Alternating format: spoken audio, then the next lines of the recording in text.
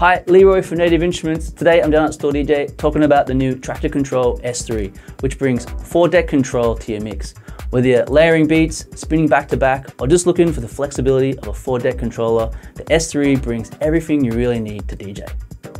Here we've got a club standard four channel mixer with three band EQ, full length faders, and a mixer effects section with assignable effects per deck.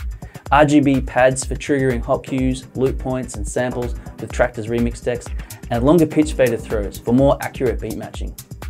The jog wheels are full sized and feel great for nudging, scratching, or pitch bending, and they also feature light rings which flash the track end warning. On the back, there's club ready XLR and RCA output options, plus an auxiliary and mic inputs.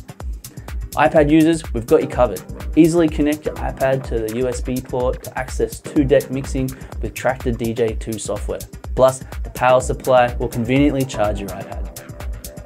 Traktor S3 also ships with NI's flagship DJ software, Traktor Pro 3.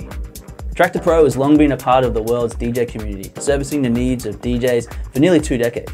Its streamlined layout gives you access to track collection, loops and samples instantly, plus a range of customizable view options to make it work for you. Thanks for checking out the video. Get down to Store DJ and check it out.